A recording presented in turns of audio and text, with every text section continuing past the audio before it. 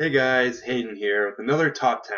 Now if you read the title of the video, you will already have known that this is my, at the screen, uh, it is my top 10 multiplayer games. Now to clarify what you guys might be thinking of as a multiplayer game, this does not mean that the game is only multiplayer. If the game has a multiplayer co-op mode or whatever, it is it counts. Actually, I think all of these games have a single player mode. Yeah, I'm pretty sure every game on this list has a single player mode in it. So that's what this is. Another thing before I start this list, I'm only counting one game per franchise. Or no, sorry, not one game per franchise, one game per series is a better way of putting it.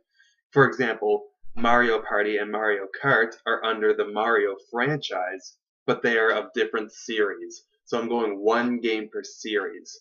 Okay, so hope that makes sense before you guys like rip me apart in the comments because if I was doing if if I wasn't doing the one per series rule, then there'd be a, a few a few series on this list that would completely dominate this. But um, with that stuff out of the way, let's move on to my number ten spot, which is Battletoads. Now I've, I've got some notes here. Sorry. Uh, so Battletoads, the game is it's super infamous for being just brutally difficult.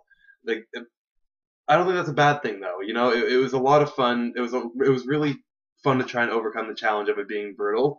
Uh, me and my brother would actually we'd come home from school like every day uh, for like probably a month straight at least. This is when we were like ten and eight, and uh, we would hop on co-op player for uh, co-op mode of uh, Battletoads. We'd try and beat it every friggin' day after school. We never made it past the speed bike level, of course, but this is actually the only game on this list that I have not beaten. But um, I really want to get back to it and try it maybe when I'm home at Christmas or something. But uh, it was just super fun, you know, having someone else there. It just made less for you to focus on because if you've ever played Battletoads, you'd know that it can get quite hectic. So uh, the music and the gameplay were awesome. So yeah, Battletoads is my number 10 spot. Now moving on to my number 9 spot is Zombies Ate My Neighbors for the Super Nintendo. Now this game, I don't think it's that well known. I, I could be wrong. I, I actually only ended up getting this game when I was like 15, so I didn't really play it in the Super Nintendo era. But it was a lot of it was a lot of fun. Um, I think it's one of the best multiplayer games on the Super Nintendo, personally. Um, the Super Nintendo didn't have that many multiplayer games, really. I found it was better single player, but anyway, uh, the game had a lot of variety with its weapons. Uh, there's lots of different power ups you could get. You could get like soda bombs. You you had your spray gun. You had like a chainsaw. No, it was a whippersnapper, I think. Um, but multiplayer, playing multiplayer opposed to single player was easier and harder at the same time because it was easier in the sense that you had a second person shooting everything, but it was harder in the sense that it was hard. You had to coordinate with each other where you wanted to go because one person couldn't go off screen. You always had to be on the same screen, so you always had to move around together and kind of coordinate your attacks. So depending on who you're playing with, it could be easier or harder. Uh, but I actually found the game. Me, me and one of my uh, childhood friends, we uh, we actually ended up beating this game on co-op mode together. Um, but I, neither of us could beat it on our own in single player, so it just goes to show who you're playing with really uh, really makes a difference. But um, you know, there's lots of variety in the enemies, the levels. There's one level with like a giant baby or something. Like just an awesome game. So that's my number uh, nine spot. Now moving on to my number eight spot is ClayFighter. Now this is a really obscure pick, and expect more of them on this list. But um, I, I kind of had to have one true fighting game on this list. And ClayFighter is really the only one that I've had a decent amount of time playing. Now, ClayFighter is kind of a parody of like Street Fighter, Mortal Kombat, those kind of games.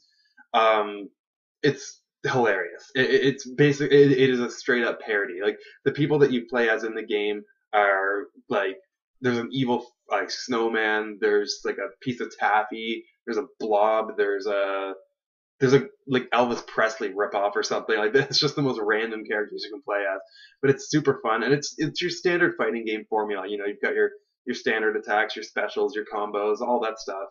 But um, this game is just hilarious. It's random as hell. Like the, some of the things that the people say, the fighters say in this game, are just hilarious. Like it, if you can find this in a bargain shop, definitely pick it up. And if you like fighter games, then you're definitely gonna like this because it's just it's fun. It's just as fun as like any old fighting game. I don't want to say it's as fun as like Street Fighter 2 or something, but um, it, you know, it, it's a, you're gonna get as much fun out, out of it as any other fighting game that's got like combos and all that. But it's just really funny. So yeah, that is my number eight spot. So moving on to number seven is the Mario and Luigi battle mode from uh, New Super Mario Brothers. Now, this game, uh, the single player was great, honestly, but I really liked the Mario and Luigi multiplayer mode. Um, in a Mario game, you, you wouldn't really expect a multiplayer mode, like a battle mode, like in a regular Super Mario game. But this game did it, and I'm kind of glad it did. So what it is is you play as either Mario or Luigi. I always chose Luigi. I just like him better. Um, and it's basically a competition to see who can collect the most stars within the within a time limit. And you can get coins to uh, get like power ups and stuff like mushrooms, fire flowers, mega mushrooms, all that stuff. And it's just there's five there's I think there's five different stages. So there's a lot of variety and like any game it's different. Like any game can go to either person just depending on what kind of power ups you get. And it's just really hectic. Like I, I would almost like equate the hecticness to like a Super Smash Brothers match because there could be stars flying everywhere. Someone could have a mega mushroom and you're running away. And me and my brother would play this all the time. Like at some points, like me and my brother would be screaming so much from the Mario and Luigi mode that like my mom would have to come in the room to see if everything was okay. And we would just be laughing and screaming, and it's just a lot of fun. So the Mario and Luigi mode from New Super Mario Brothers on the DS is my number seven. Yeah, number seven spot. So moving on to my number six spot is Wii Sports. Now I might get some flack for this one because some people don't even consider it to be a real game, but I totally consider it a game. Some people say it's a glorified tech demo, but this this is you have to admit it's it, it is a game in some sense, whether you think it's a game or not. That didn't sound very good, but um, Wii Sports, pro- like the only game that my family, like my meaning my parents, would play with me it's just a lot of fun, you know, like it's just regular golfing or regular baseball, but it's a video game. So my parents thought, okay, we'll try it, and it was just a lot of fun. I never really played the boxing and the um, the tennis, but the baseball, the golf, and the bowling, I had a lot of fun with. You know, my my family and I would like we would or like all my family members and me, even my grandparents would get into it sometimes. Sometimes we would just sit down in the living room and play this for hours. Like I just have so many memories of playing Wii Sports with my family. Um, you know, it's it's not really. I, I don't know. It, it is a game, but it was it was kind of just shown to like see. Oof, it was just kind of made to show what the Wii could do, and it did it in spades, and it did it enough to make it into my top ten list. So Wii Sports is my number six. You know, just r- really simple concept, but just a lot of fun, and so, uh, something that I have a lot of memories with with my family. Now moving on to my number five. Now this is an obscure pick for sure. Bomberman for the Nintendo DS. Now, this game, I, actually ended up pick, just taking this out of a bargain bin for like five dollars when I was like twelve or something. And my God, was it ever worth more than five dollars? At least in my opinion, with the amount of fun that me and my friends had. So, Bomberman for the DS, you could do up to eight players, which was there weren't a lot of games at the time that could do that. So that was really sick. But um, the fact that you had two screens to play on opposed to one made for a lot more room. But even when there was eight players, it got a little crowded. But that wasn't necessarily a bad thing because when it, if you know from playing Super Smash Brothers, a hectic and crowded match isn't necessarily a bad thing. You know, you'll be screaming and laughing, and like everyone will be super excited. And it, it, if you know how hectic a Super Smash Brothers match can get, you'll understand how hectic a Bomberman DS match can get. You know, there may be one guy with ten fire power ups that like is just killing everyone, and you and your friends kind of try to make an alliance to go up against him. Just just so much fun. There's a lot of different power ups in this game for a lot of different variety. You know, someone might have remote bombs, and someone might have like power bombs that like explode all over the place, and it's just a lot of fun. This is actually a game that me and my friends like every day before school started, and every day like like during lunch hour, we would sit down like in the hallway or whatever, like in our own little corner because we were we were the nerd group, but I didn't care.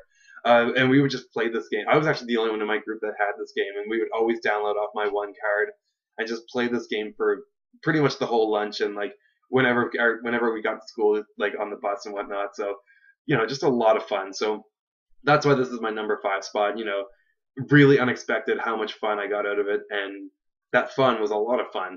So moving on to my number four is Mario Kart DS. Now, a lot of people like, argue over which Mario Kart is the best, but lo- I, th- I find, at least from my experience with the internet, that Mario Kart DS is usually a favorite among the Mario Kart series. Now, I didn't actually own this game as a kid. I own it now, but a lot of my friends owned it when I was younger, and we would always play um, Balloon Battle again during like recess and lunch, like same with Bomberman. But um, my God, we played this game so much. Like, I had never actually played a Mario Kart game before this. I had heard about Mario Kart before, like on the Game Boy Advance and on the GameCube, but it was never something that really like piqued my interest. I never really like I, I never really like liked racing games, so I was like, oh, why am I gonna like Mario Kart? And to this day, I still don't even like racing games that much, but Mario Kart is definitely an exception. Um, so yeah, like we would usually like sometimes we would race, but we would usually play balloon battle. Again, just really hectic matches, especially when there was eight of us playing. Uh, it's just a lot of fun. Uh, you know, there's always that one douche who would get like triple red shells, and then they would steal everyone. Oh no, you use the stars and the mushrooms to steal people's balloons. But like there'd always be one person with like six balloons and like triple red shells. So then me and my friends would try and take down that person. It's just just a lot of fun. A lot of memories with my friends during recess and lunch with that game, and that is why it is my number four. Also because it is probably one of, if not my favorite Mario Kart game. But that's a discuss- that that's something for a different list. So moving on to my number three spot is Pokemon Diamond and Pearl. Now this game I didn't actually like the multiplayer all that much. Like the I wasn't a huge fan, or sorry, not the multiplayer, uh, the single player mode. Excuse me. I was not a huge fan of the single player campaign. Um, it, I found it was too slow paced. But anyway, I'm only talking about the multiplayer. Now, the reason I have a picture of the underground here is because this is the multiplayer aspect of the game that I played the most. So me and my friends would sometimes battle with each other. Like we were kind of understanding like the mechanics, like EV training and all that stuff. But we spent, I, I like I literally have like hundreds of, I think I have over 500 hours in my Pokemon Pearl, and at least 400 of those are from the underground. Like it was just so much fun building like all these mazes like with your secret bases and then having your friends try and get through them to steal your flag and then you stopping them from stealing your flag and whatnot like it, it was just awesome setting traps down everywhere. Um, and if any of you guys have multiplayer experience with the underground i'm sure you know how much fun how much fun it is. And then sometimes abandoning your base and building a new one like far far away like just mind games and that's what i loved about it. Um, now I, I i gotta say the secret bases in Pokemon Ruby and Sapphire, they were fun. Like they were cool, but they weren't really that interactive. You could link up and have yourself like battle, like a computer version of yourself battle your friends, but like that was okay, but it wasn't really that interactive. But Diamond and Pearl, I find really perfected the secret bases. There was a lot more things you could put in your base, and it's just really, just really cool. Like how much fun I had with my friends. It's just really interactive and we would sometimes sit there until our batteries died, like running back and forth to secret bases, like ranking up our flags and whatnot, and you know, just just a lot of fun. Um, so yeah, that is my number three spot, the Diamond and again the single player campaign I didn't really like in Diamond and Pearl, but in the multiplayer was so much fun. So moving on to my number two spot, again another kind of obscure pick, Metroid Prime Hunters, the multiplayer mode. Now this game I, I didn't care for the single player campaign that much at all a lot of people don't. And this game is usually ranked pretty low on people's like Metroid countdown lists. But uh, this multiplayer, my God, I have had I, I, more hours than Diamond and Pearl's uh, multiplayer. Like I probably had like 600 hours of multiplayer logged into my game. But um, this game is just so much fun. So it's basically like your typical first-person shooter. Like if I were to relate this to any game, I would have to relate it to Halo multiplayer, and even that is kind of loosely relating it. Because the the way this game works in the multiplayer is that excuse me oh my god wouldn't be a video with me if there wasn't a big burp in the middle of the video. But the, the reason I like the multiplayer in this so much is because it's so varied. So you can play as Samus or you can play as the six other bounty hunters found throughout the single player campaign all of which have different special powers. So there's different weapons that you can collect in the single player that you can also use in the multiplayer. Like there's a lava weapon, an ice weapon, um, there's like a plasma weapon, but um, each of these different hunters has a special affinity with a certain weapon. So like there's like a a rock spire guy that uh, I think his name's actually Spire. It's been a long time since I've played it. But um, he's his magma weapon has like an additional effect where it can light you on fire, and like the ice guy's weapon can let can freeze you in the spot. So it, it, choosing your fighter is like a very tactical thing. Like so, like I, I personally liked Trace the most. He's like this red spider guy that could turn invisible, and he used like a sniper laser could like you could get like a one hit kill if you got a headshot with it. But um, yeah, there's just a lot of variety in the game. Um, me and my friends actually ended up finding like a bunch of glitches in the multiplayer, like glitch walls that you could hide in. Like me and my friends debunked this game to death. We found every little secret in the multiplayer, every little like each of us had like a different like favorite fighter.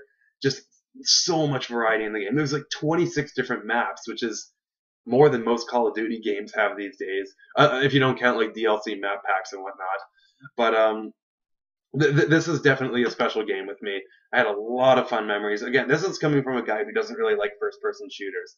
Like the controls in this game, a lot of people complain. A lot, big complaint people have about this game is the controls because you have to use like you're using your stylus in one hand like to like kind of aim around and then using the shoulder button and the directional pad to move and shoot and a lot of people just couldn't get that control scheme down. But me and my group of friends, we all just seemed to master it like no problem. So so we would play multiplayer on this game. Like, like we played multiplayer in this game probably more than Bomberman and Mario Kart DS combined. Like that's how much we loved it. And like, oh, just so much fun. Like, I, I, I this is, uh, I, I want another Metroid game like this with a multiplayer like this, especially like with online functionality. The DS one had online, but the DS wasn't even that good of a system online, at least with my experience. So I, I think we need another Metroid game, a handheld Metroid game with a multiplayer like this. For the few of you out there who know what I'm talking about with this game, because I'm sure there's not a lot, you will understand why I'm praising it this much. The single player campaign, not a fan of it, but the multiplayer in this game, oh, so good. So moving on to my number one spot. This is probably obvious if you guys follow my channel, but Super Smash Bros. for Wii U.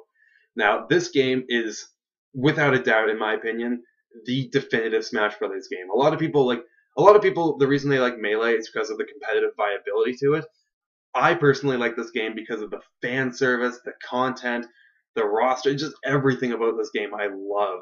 I don't even really care that the single player content is kind of weak because to me Smash Brothers has always been about playing multiplayer, regular Smash stock matches with my friends but uh, something that this game added, a huge thing, was I know Brawl had it, but the online mode. This game, I know it can kind of lag sometimes, but I, my experience with the lag is actually very limited. Like I almost have, I almost never have problems. Maybe I'm just lucky. Maybe I just have a really good internet connection. But um, this game is just amazing. I don't even care if I'm playing on the couch with my friends locally or if I'm playing online. This game is just it always quenching my Smash Brothers thirst. There's just so many options, so many items, so many stages. The game is ever changing because of the balance patches and the uh, new stage DLC, the new character DLC. This game is just never going to get old, in my opinion. Like I, I, still play this game almost every day, even if it's just for 20 minutes. I, I always make sure I get in a Smash session every day. Just really helps me relax. But one thing I really like about this game is that it got me into the competitive scene. I, now when I I started to kind of follow the competitive scene during the late days of Brawl, like 2011, 2012, when and then that's when I started to figure out like, oh, Meta Knight's overpowered and like who's a good character, who's a bad character. But I never really like played competitively. This game really got me into the competitive scene with one-on-one for glory matches, like because now I actually understand like like competitive viability of characters, and now I'm starting to actually understand like, okay, this is a good character and this is why I should use them that's just one great thing that the Smash Brothers, uh, that this Smash Brothers game did. That being the Wii U version. I like the 3DS version too, but let's be real, the Wii U version is superior in pretty much every way. The, the, you know, the music is phenomenal, the graphics are phenomenal, just the stages, the characters, and oh my god, like th- this game is just phenomenal. I've like I've had more fun with this game in the little time that I, like this game hasn't even been out for a year. I've had more fun with this game than I've had with all the other Smash Brothers games combined. Like th- that's how much I just love this game. You know, the, it just feels so good to play. Like again, don't even care that the single player con- like Smash Tour can go eat a dick, but I don't even care about that because the multiplayer in this game is just so perfected. So, well, let me know what you guys think in the comments. What your favorite multiplayer games are. Let me know what I missed. Let me know what I'm stupid for not mentioning. Leave a like on this video if you enjoyed it. Share this with your friends. By all means, share it with your friends. And don't forget to subscribe to my channel for more top 10s and other things Nintendo. Alright, peace out guys. Bye.